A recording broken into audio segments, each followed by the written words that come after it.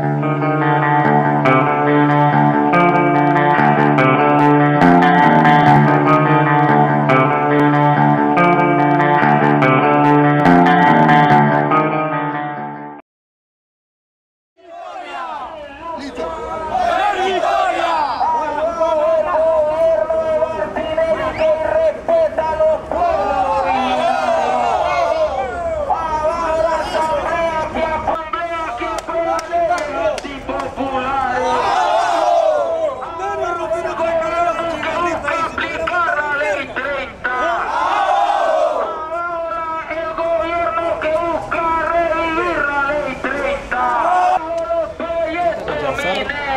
Eh, la discusión que está en segundo debate del de la asociación pública privada que lo que pretende pues darle facultad al ejecutivo para que privatice en el caso que tiene que ver con infraestructura del estado y lo, incluyendo servicios verdad que brindan algunas instituciones.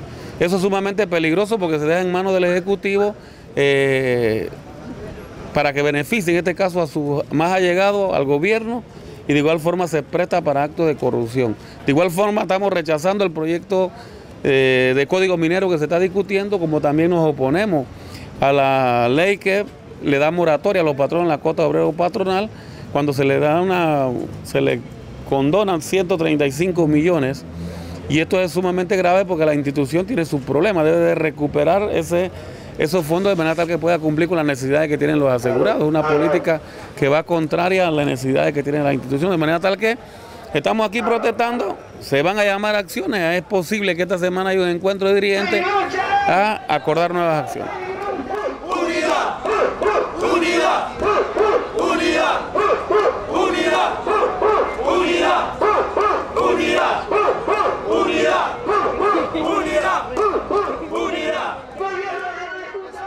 Código minero. Mira, ya nosotros tenemos 64 concesiones mineras en la comarca. Hay tres concesiones de exploración y explotación dadas por el gobierno anterior. Entonces, este gobierno lo que ha querido es concretar esos proyectos mediante la modificación de un código minero. Este código pretendía en el mes de febrero que estados extranjeros pudieran ser dueños de las concesiones mineras en la comarca y en cualquier parte de este país. Por eso que la población indígena estuvo más de un mes protestando contra este proyecto y fue derogado.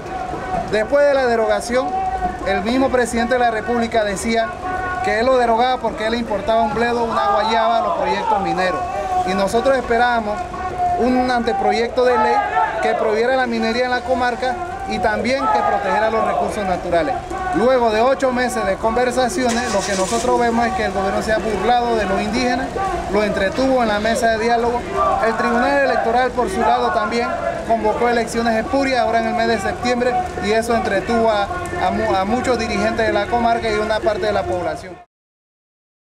Por otro lado, también estamos aquí para eh, protestar y exigir la derogación de la ley, del proyecto de ley APP, que pretende privatizar los servicios en este país y de una forma u otra pues entregar todo lo que tiene que ver con las instituciones del Estado.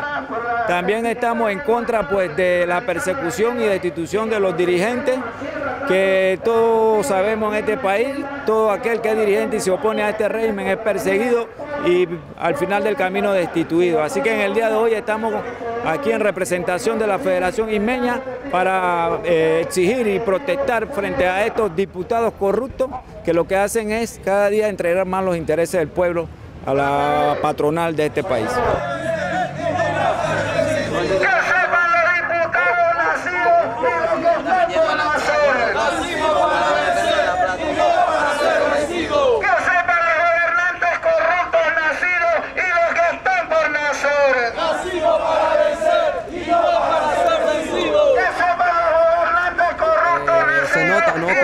El gobierno o propiamente la Asamblea de Diputados nuevamente intenta vulnerar un anteproyecto o presenta un anteproyecto eh, en contra tanto para, violar lo que son los recursos humanos, entre otras cosas, eh, como propiamente lo que es lo que se está en estos momentos debatiendo, que es lo público-privado.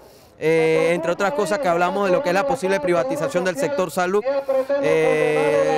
nuevamente se toca el tema de la minería, eh, prácticamente todo un anteproyecto de ley muy parecido a la antigua ley Chorizo. Nosotros estamos aquí diciendo presente, principalmente por el sector del estudiante, por el sector de la juventud, que nos vamos a mantener haciendo conciencia y no vamos a permitir de una u otra forma que estas cosas pasen a espalda de la juventud panameña.